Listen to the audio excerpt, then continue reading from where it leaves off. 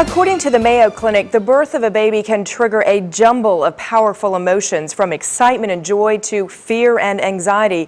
But it can also result in something you might not expect depression.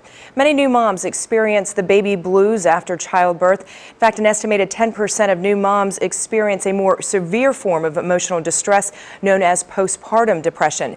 Joining us today for Martha Jefferson Healthwise is Pat Cheeks, Women's Midlife Services Coordinator, to share some insights on working through the challenging condition that is called postpartum depression. Thanks for joining us. Thank you for having me. So, for starters, what is postpartum depression and why does it occur? There's actually a continuum. So there's baby blues, which almost every woman, well, at least 50% of women have.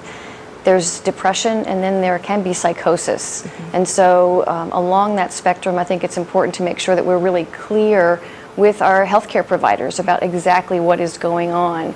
If someone is having classic signs of depression, with uh, it could be irritability or it could be sadness, not just um, the blues where they might cry from time to time and Hallmark commercials make them cry, but really unable to pull out of a, a mood that's um, very, very sad.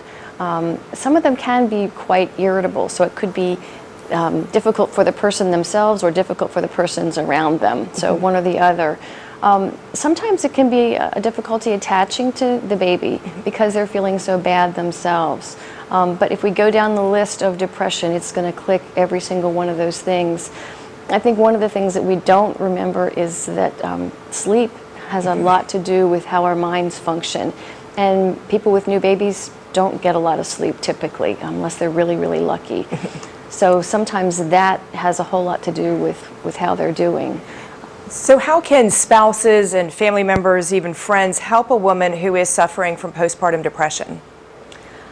If they can take a turn feeding the baby in the middle of the night, if a woman's breastfeeding, if she can pump and they can feed a bottle, if they can allow her to take a nap in the middle of the day, um, to be able to have some time alone.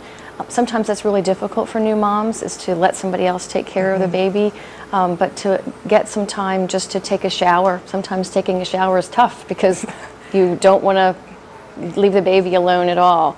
So finding a little bit of time alone, um, again, taking care of themselves. Sometimes it's difficult to eat a really well balanced meal when you're trying to take care of a baby that's crying, particularly babies that are colicky, I think can be a little more challenging.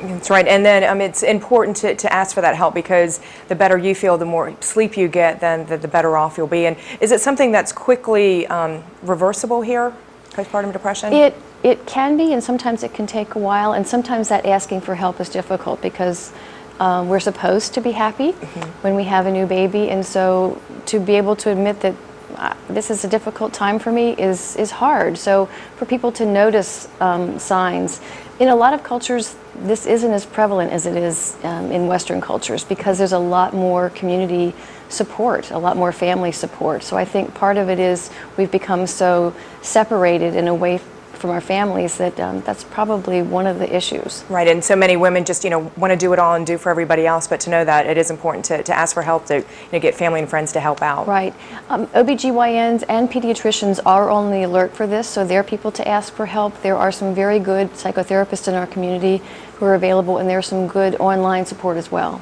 Okay, great. Well, Pat Cheeks with Martha Jefferson Hospital, thanks for joining us tonight. Thank you. And for additional information on postpartum depression, visit our web channel at WCAV.tv.